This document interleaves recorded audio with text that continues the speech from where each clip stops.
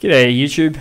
Recently I've found myself requiring to find text within a, a text file of some description uh, recently in Linux Mint and I was unable to, to find it so I've actually downloaded this cool uh, search tool to help me do that. So first of all open up a terminal and I'll show you guys how to install the, uh, the tool. It's called, uh, I'll just do this, sudo apt install gnome search tool. Now there's a great many of these out here, but this one seemed to work quite well for me.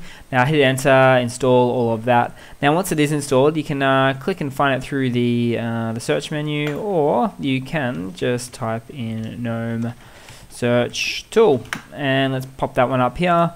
And let's start off with uh, going to uh, type in, let's look for a file that actually does contain the, uh, the words GNOME search tool in it. Search tool. And I know that it exists in desktop so this should quite work well for me.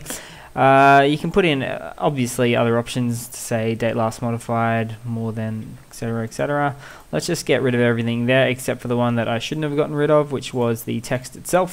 Contains the text click add and let's go for it.